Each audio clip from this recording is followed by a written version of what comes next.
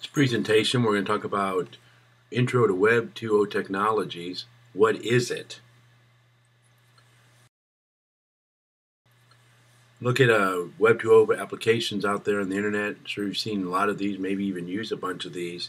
Um, but uh, we're going to look at in this course and in some of your projects that you're going to do, um, integrating some of these as part of the assignments and the usefulness of these for especially in the area of digital and in online teaching and electronic um, media and things like that that we can use to better convey our um, content to our audience, whether they're students or people that we're training as adults or in companies, um, that sort of thing. So um, we'll look at some examples as well.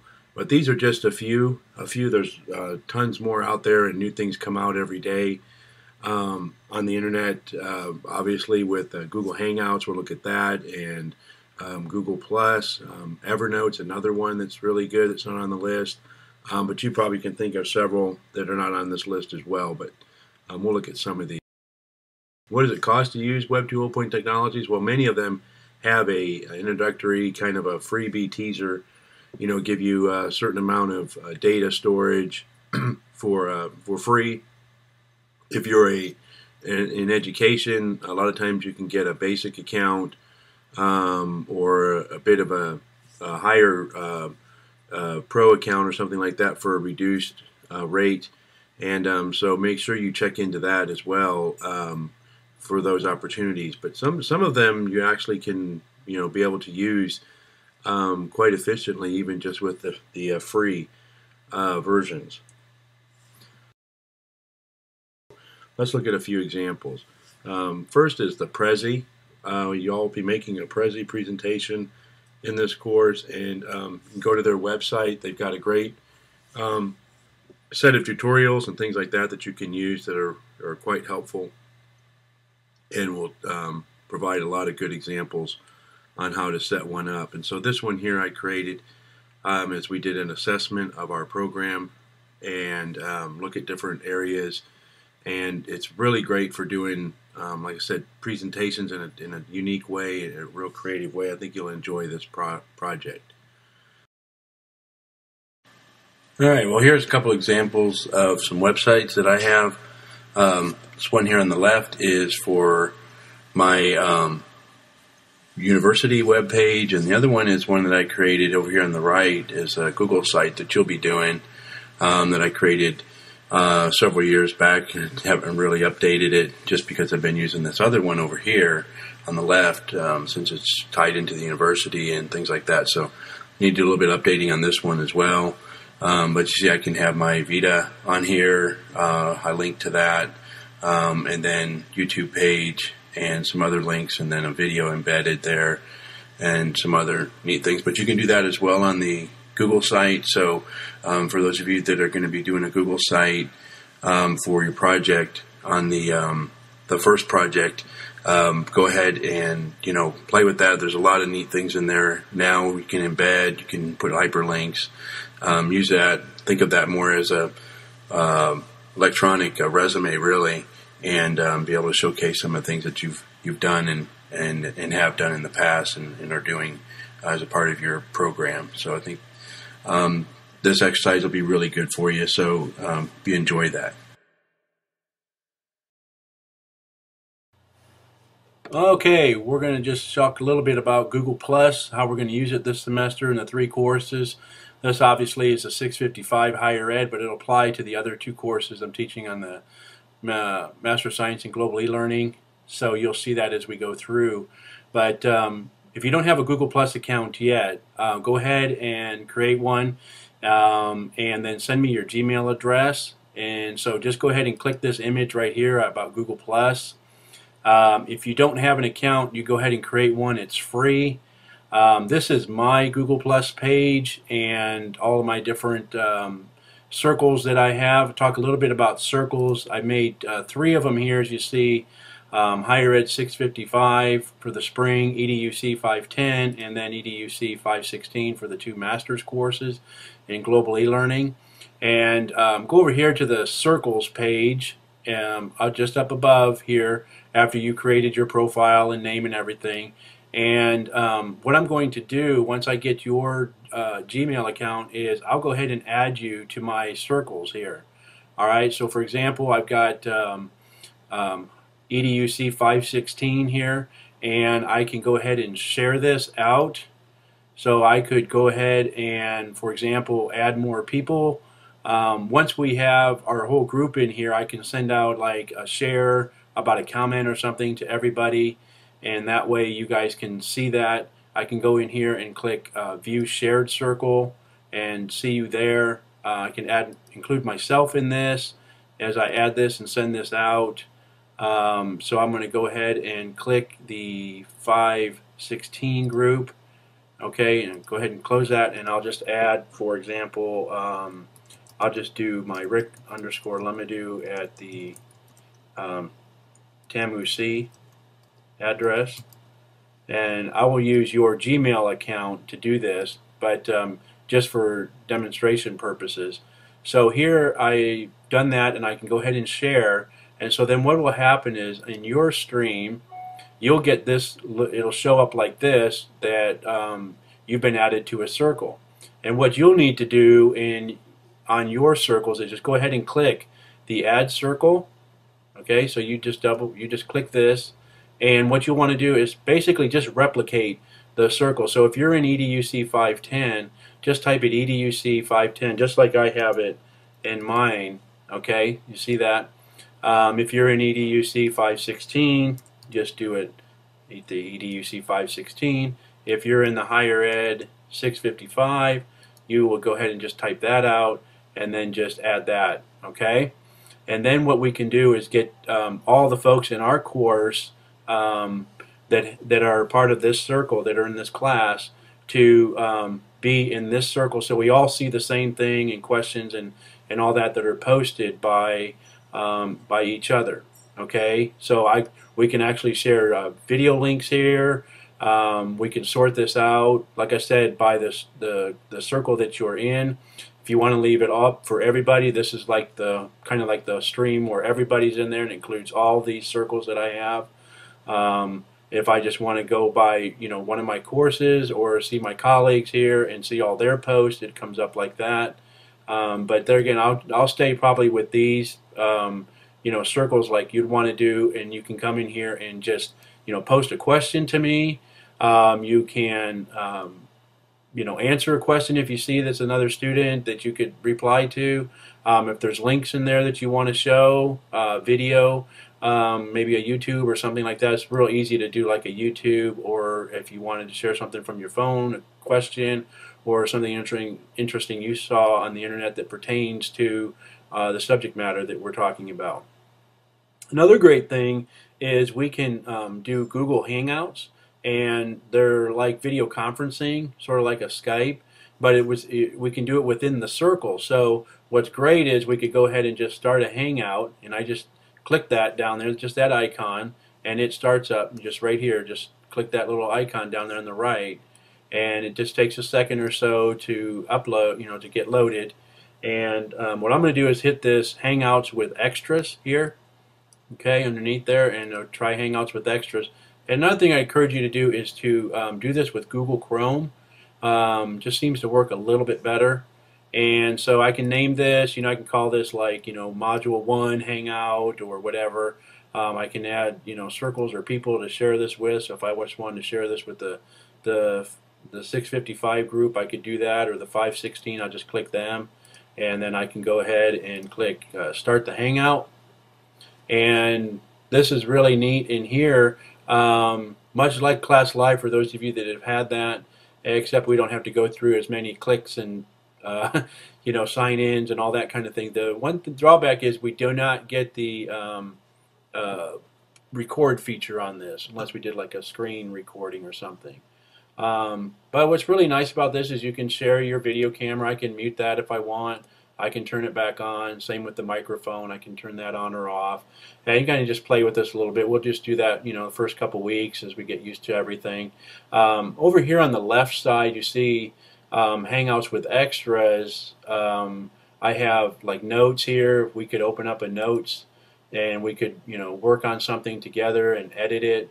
Um, and I can just type in some, you know, hi everyone, you know. And what's great about this is that when we're all done, instead of sending an email back and forth with an attachment, this would actually sync up with everybody that's in the uh, Hangout at the same time. It'll it'll sync up in your Google Docs, which is really cool. Another thing we can do is add a document. So any of the documents that you have or I have in my Google um, Google Docs, we can work on that. Like um, if we needed to work on a um, a degree plan like Dustin's or like Laura Boo. We worked on hers a couple weeks ago before the break, and we were in a Google Hangout and, and edited her um, uh, degree plan. We wanted to work on a document, so we just sort this through the documents or, or a presentation um, like a PDF or something or a PowerPoint. We can edit that. Um, there's the spreadsheets for the um, degree plans and, uh, and then here documents if we want to collaborate on a on a particular manuscript or an article or something like that we could do that these are some of the notes that are left over that have synced up from other hangouts that I've had um, but we'll we'll play around with this quite a bit this semester I think you'll really find this kind of fun and really um, uh, just a, just kind of neat in the sense that um, it's kind of out there in you know Web 2.0 and once you're you're signed in to your Gmail account, and you just you just basically one one login area where you can go back and forth between your documents. Come into here. You don't have to do a bunch of you know going through all the steps of getting into the e-college system to do some of the um, administrative things that we like to do uh, with just asking questions or do some of the video conferencing, um, as well as collaborating with your classmates that you're probably already going to do in Google Documents anyways if you're working on projects and working in groups. So I'm going to close this uh, Hangout for now. And so you see now we're back here, and this is where we can, you know, add, you know, post comments in here or questions or whatever, and that will show up just to the group that you're a part of here in EDUC 516. Same thing here in 510. We can do chats over here if we want. Um, so I think you'll find this pretty exciting and kind of neat to work with. The great thing about this too is it's on um, all the mobile devices. So if you have an Android phone or an iPhone, OS, it works on that. Same with the iPads, and uh, of course cross platforms on the other um, operating systems, Mac and PC. So I uh, look forward to uh, learning uh, with you guys and using this this semester.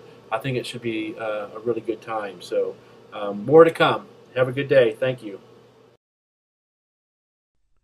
Okay, I just want to take a couple minutes here and show you guys how to access the uh, database uh, from the library for journal articles uh, that you can use for your uh, papers, your research papers, as well as abstracts and other assignments that you'll have uh, here in the master's and doctoral program. So we'll go ahead and turn off the webcam and we'll go into the eCollege course website from your online course.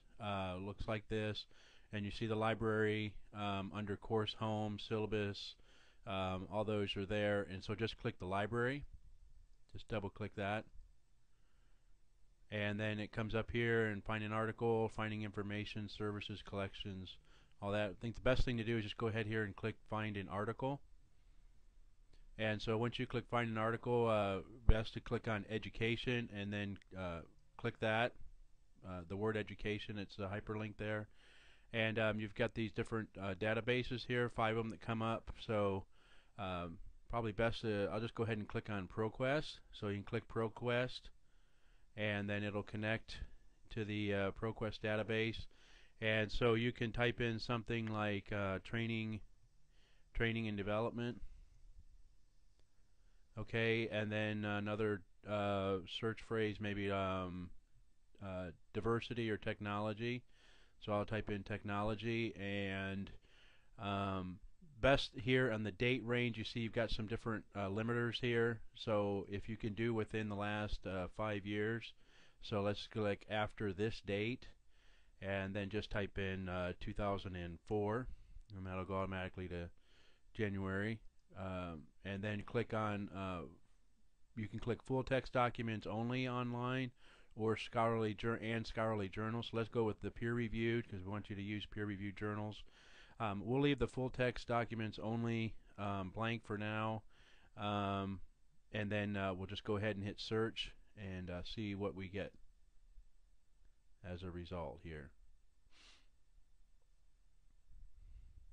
And so you see we get 453 documents or articles that are out there um, in um, in this uh, library database. And so you've got uh, lots of different choices to go through here.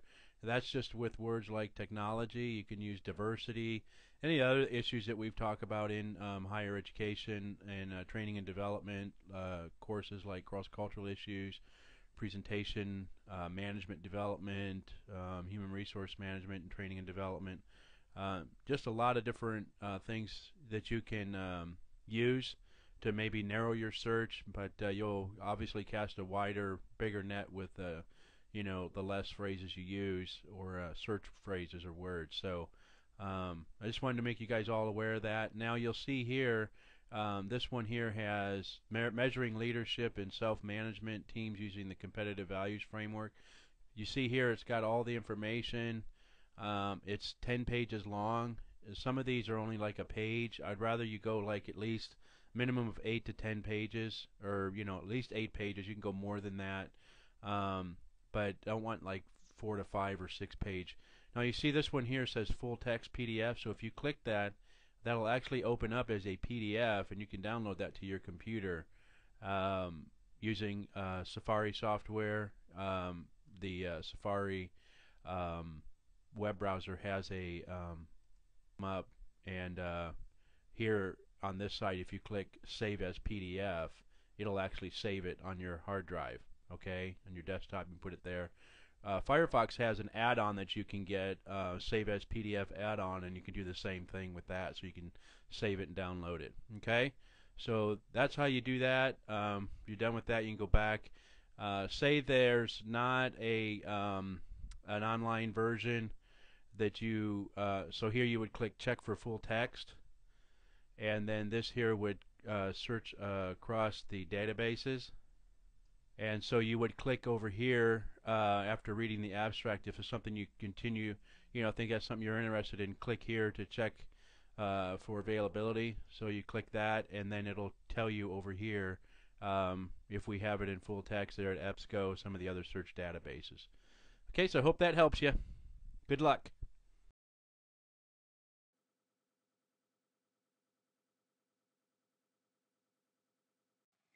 Poll Everywhere grabs your audience by letting them participate in your presentation using their mobile phones. Through a simple text message, your audience can vote or send in their questions and comments to the presenter.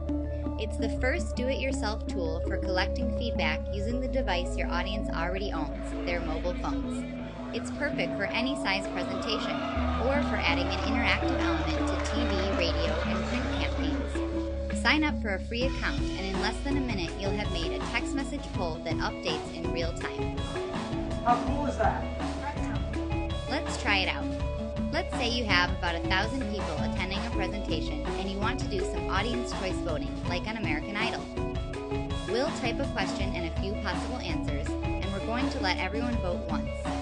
We'll reply to their votes with a simple thanks and a link to a website. You can customize the way the poll looks and download a special PowerPoint slide containing a graph that changes as people vote. The audience participates by either sending a short text message or by going to poll4.com on their phone's web browser. As soon as they press send, the chart updates. Poll Everywhere is powerful enough for Fortune 500 customers with features like one-click slide downloads, downloadable results, embeddable voting widgets, and multi-poll analytics. So sign up for a free account and see for yourself.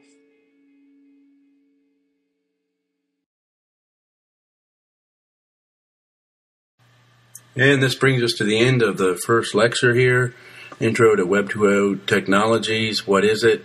And the next lecture we'll be looking at um, why Web 2.0 technologies and um, the reasons behind that and engaging today's students, the 21st century learner. So look forward to seeing the next uh, module.